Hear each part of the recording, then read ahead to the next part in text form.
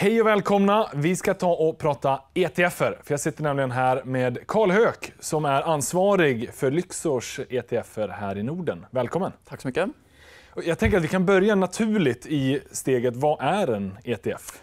En ETF är en börshandlad fond eh, och det är, den kombinerar egentligen det bästa av en fond och en aktie. Så man tar lite av det bästa av båda världarna. Ja. Eh, Och i nästan alla fall så är det en indexfond. Så i 99% av fallen så är det en indexfond som handlas på börsen. Då. Man pratar lite om aktiva fonder, men det är fortfarande pytteliten andel. Max någon procent skulle jag säga. Och det bästa av båda världarna är ju att du får liksom samlingen av tillgångar som en fond, men den handlas i realtid som en aktie. Precis, så man får eh, en mängd saker från indexfonder skulle jag säga. Dels att de är oerhört billiga och det är ju något som är väldigt utmärkande. Och sen så får du den här likviditeten, att du kan handla när som helst på börsen i realtid. Så du kan få ett pris precis som om du handlar Ericsson-aktien eller vad som helst. Så Ja. kan du eh, trycka på knappen och få ett pris pang bom där och då. Till skillnad från en fond där man måste kanske vänta två, tre dagar i, eller till och med ännu längre ibland då, innan man får ens ett pris och vet hur mycket pengar det blev. Och sen finns det ju ganska många indexfonder, vanliga fonder, men eh, de kan ju ofta vara ganska begränsade till de lokala marknaderna. ETF är ju väldigt spridda. Du kan både få länder, regioner, sektorer och teman som index. Det stämmer bra. Och, eh, visserligen finns det indexfonder även på världsindex och Amerikaindex och så vidare. Men det finns en otrolig bredd på de ETFerna som erbjuds. Eh, ja, till exempel från Lyxor har vi över 300 ETFer. Så det, det finns en herrans massa olika nischer. Då, allt från Ja. olika, ja, som du var inne på, teman eller sektorer eller breda benchmarks eller olika tillgångsklasser som räntor och aktier. Och, Det finns lite allt möjligt i den där gottepåsen. det kan man säga. Och, och när du säger låga avgifter, vad pratar vi om för typ av avgifter vanligtvis? Eh, alltså om man tittar på en vanlig, en vanlig aktiv fond så kanske den kostar mellan, jag vet inte vad den kostar idag, men mellan 50 och 100 baspunkter som vi säger, alltså mellan 0,5 och 1% och 1% per år i avgift. Eh, en indexfond kanske ligger i undre spannet där. Medan våra, våra billigaste ETF ligger på 0,04% alltså 4 baspunkter. Det, och det är den absolut billigaste ETFen i Europa då, på, på den avgiften. Och sen finns det ju såklart några som är lite dyrare än så, men Ja. vårt core-segment av ETFer, vi har, vi har en begränsad mängd som kallas för core-ETFer från Lyxor och de är då superbilliga. Väldigt billiga. Ja. Och vad är det som utmärker att de är core? Eh, ja, men vi, har alltså, vi har valt ut några fonder som är eh, av en speciell karaktär. Dels är de ganska stora, och sen är de väldigt billiga och sen är de, använder de så kallad fysisk replikering. Det finns olika sätt att eh, replikera index på som man säger. Eh, och, eh, de här är alla då fysiskt replikerande. Alltså de innehåller aktierna. Eh, ja, fast det, det gör alla ETFerna. Ja. Eh, men eh, det, finns även så kallad syntetisk replikering som också innehåller massa aktier men kanske inte precis de som man speglar index med. Ah, okej. men, men de här core gör det? Det gör de. Men bara för att vara tydlig, det är inget fel på de här så kallade eh, syntetiska ETFerna heller. De är oerhört bra Ja. och eh, i många fall mycket bättre än fysiskt replikerande. Så det ska man inte vara orolig för heller. För alla våra ETFer är eh, UCITS-fonder så de skyddas av UCITS-regelverket som alltså är EUs värdepapperslagstiftning. Ja. eh, Och det är ju precis samma regelverk som de vanliga fonderna råder under. exakt. I mångt Och, mycket. precis. Ja, men om, om vi tar en, säg, global indexfond. Mm. Vad kostar den? Eh, det vi har en i core-segmentet som jag nämnde som kostar Ja. 12 basis points, alltså 0,12% per år.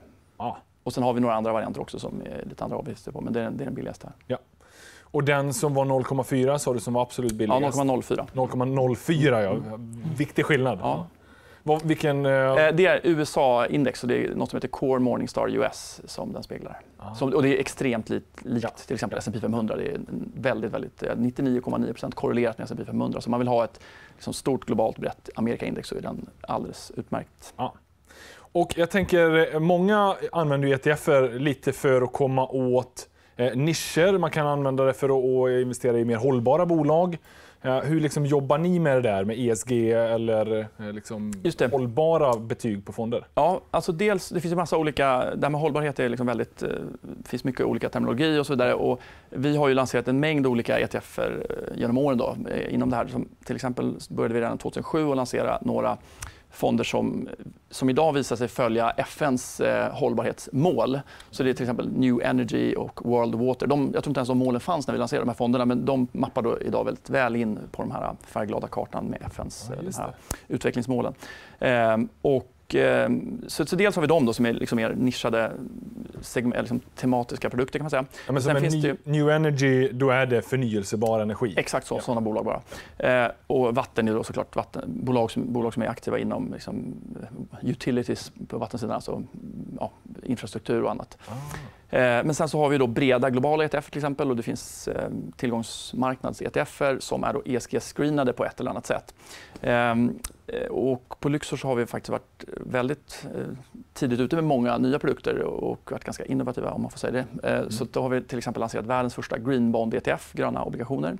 Så det gjorde vi för ett par år sedan och den är nu mer än 400 miljoner euro stor. Så enormt intresse. Och då är det ju för, det är en räntefond Exakt. för företagsobligationer men som har tydligt Och eh, statsobligationer okay, och så kallade supranationals, eh, vad det nu heter på svenska, supranationella institutioner som ah. eh, jag tror Världsbanken, Europeiska investmentbanken och sådana organisationer. Okay. Eh, men sen så har vi också nyligen då lanserat eh, några väldigt spännande klimatfonder så kallade EU Ecolabel ETFer eh, där vi var först i världen med att lansera eh, en sån Paris Aligned ETF som försöker möta Parisavtalets mål.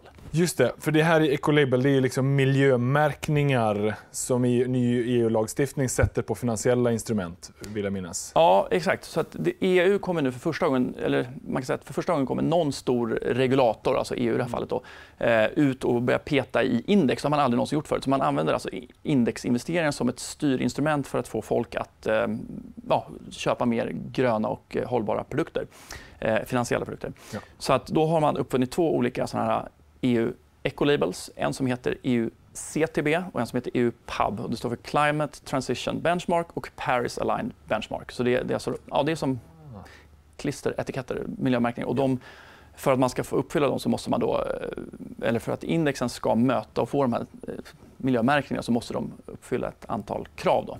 Och det handlar egentligen om koldioxid och eh, att få ner koldioxidmängden. Så det är det som är huvudfokus. Ah. Eh, så att man ska kunna nå de här 1,5 graderna i bästa fall. Då, så att, eh, till, ja, under ett visst antal år då, så ska man komma ner till 1,5 grad. Men det är ju lite som när man går i en matbutik och hittar miljömärkningsmärken på vanliga dagligvaruprodukter. Fast här nu gör man det exakt ja, likadant för finansiella produkter. Precis så. Och det finns ju andra sådana finansiella ja. märkningar idag också. Men det är liksom, det, om man tänker sig... Det kan vara som... privata bolag eller institutioner som har gjort det. Men nu kommer det verkligen från EU-lagstiftning sett. Precis. Och det, förhoppningsvis så gör det att det för en gång skulle bli lite standard inom det här området. För det har funnits otroligt massa olika märkningar och olika flaggor och glober och liksom index och alla möjliga konstiga saker som eh, dels olika privata bolag har uppfunnit men även även olika alltså banker och annat som uppfinner sina egna metoder och tycker att det är det här vi ska använda och vi är bäst på ESG och vi gör så här. Och, men nu har man då kommit med den här breda eh, standarden eh, från EU. Så vi hoppas att få se lite mer standardisering. Ja, det, ja, men det är jättebra. Det har ju varit bra med föregångare för att de har drivit frågan. Men det kan ju definitivt vara på sin plats då att ha någonting brett som alla förstår och förstår då eh, eh, kraven bakom det. Så att det blir lätt för konsumenter finansiella sparare att välja om man nu känner att det här är liksom vad jag vill ha mina pengar placerade Just det. Och, men, men jag vill också bara nämna att är, man har ju valt den frågan som man anser är absolut viktigast för mänskligheten till och med, så att inte planeten ska bli för varm. Då, så att max 1,5 grader uppvärmning. Så att, ja. eh, eh man anser att det är en, en, en riktig kris. Alltså det är verkligen, eh, sen är, ja. Så det är de två märkningarna än så länge då? Ja, precis. Och det, är, det är de som finns. Och båda, de är snarlika. Den ena är bara ett lite hårdare krav kan man säga och den andra är lite mindre hård. Men båda syftar till att få ner, ganska dramatiskt få ner koldioxidutsläppen. Ja. Så vi har ju, från Lyxor har vi släppt en hel vad vi kallar ekosystem av ETF. Då, så det, det, finns en hel uppsättning med fonder som möter CTB och en hel annan uppsättning som möter PAB, de är Paris Aligned. Och, eh, så vi använder MSCI för den ena varianten och så använder vi S&P för den andra för att vi vill ja, erbjuda allt möjligt till investerarna så att de ska kunna välja själva. Då, ja. Men det är nog en spaning eh, det jag tror att vi kommer att få se mer av framöver. De här typen av eco-labels eller märkningar för finansiella produkter.